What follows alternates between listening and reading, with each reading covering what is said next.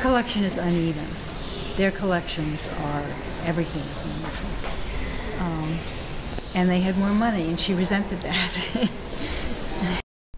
but that's not to say that Isabella didn't live up to the image. Her exquisite taste in the arts also applied to how she dressed herself, and to that end she used the Paris salon of the famous Worth.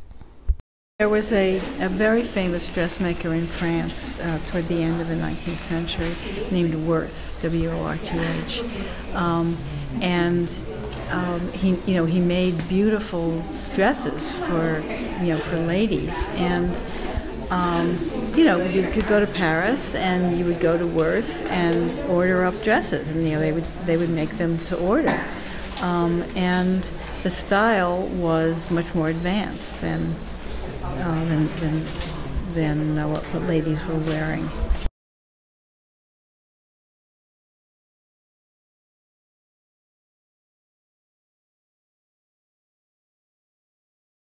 Sargent, the most successful American portrait painter of his time, gained fame through his unique approach of capturing the inner life force of his sitters.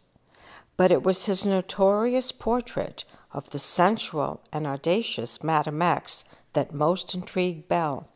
Rather than condemn the work, like most outraged Parisians, Isabella praised it and wanted her portrait done too. Scandalous because, I mean, you know, you can see the cleavage. um, you know, it was it was not displayed. Uh, you know, uh, you know when it was first when it was first painted, it, it, it wasn't displayed, you know, prominently for people to see.